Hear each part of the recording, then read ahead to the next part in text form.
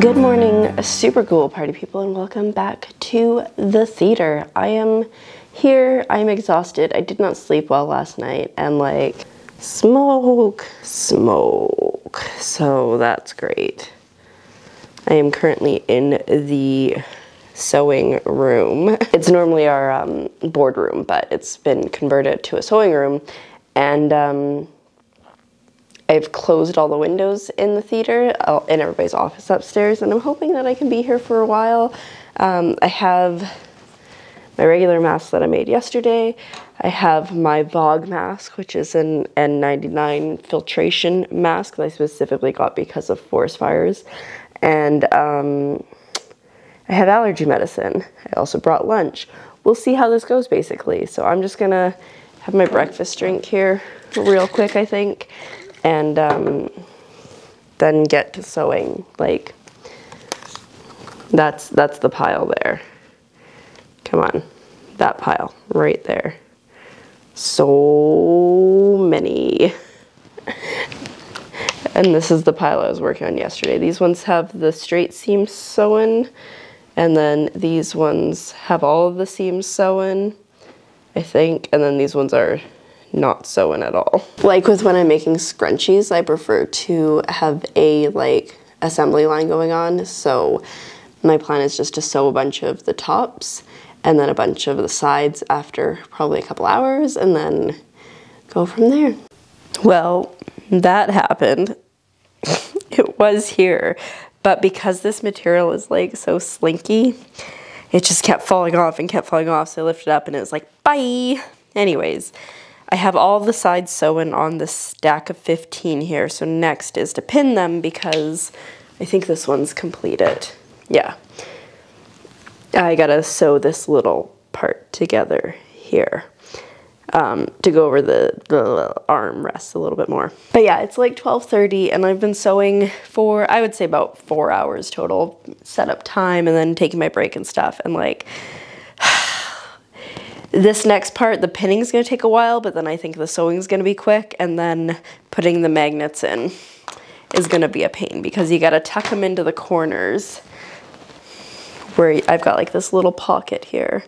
I got to tuck them in there, and that's going to be a pain. But then when that is done, I will have 15 seat covers done, which is exciting. But before anything, I have to pick up those stupid pins.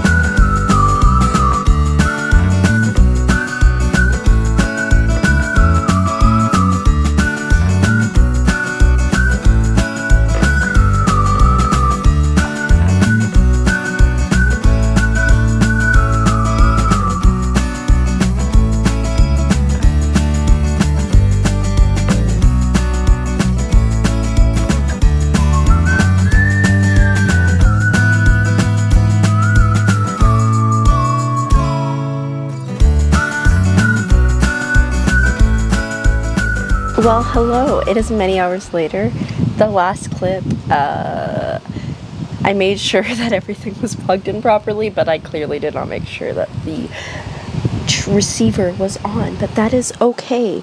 Um, I'm just gonna try to voice it over. It's probably loud because I have fans going like every which way, but it is pretty warm in here. Oh, it's almost 27 degrees. Um, I'm doing a lot better since I have been home because I have not been exposed to the elements. My face has cleared up quite a bit. It hasn't been irritated, so that's that's great. And I've just been legitimately folding fabric, cutting off like all the um,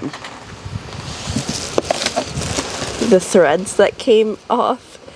You know, when you wash fabric, it does that, and um, then folding it. My mom was very nice, and she started washing the fabric while I was at work. And then when I came home from work, she was also very nice and continued to wash it because the distance and the smoke. But here's the situation. So these are like all my half meters, or like this one's over half a meter, but yeah. And then these are a meter. all a meter. This guy's three meters, and then like all a meter, and then there's another stack back there. It's a little excessive, I am aware. Tomorrow I'm gonna take pictures of all the fabric I have because people do want me to make masks for them. And then hopefully I'll get the set of four masks that I want to make for a friend done. Um, or at least cut out. And um, yeah, then we'll go from there. And then at some point,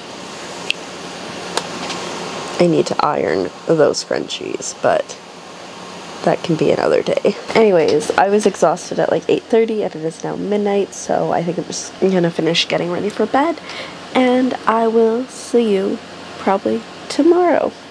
Who knows? Good night.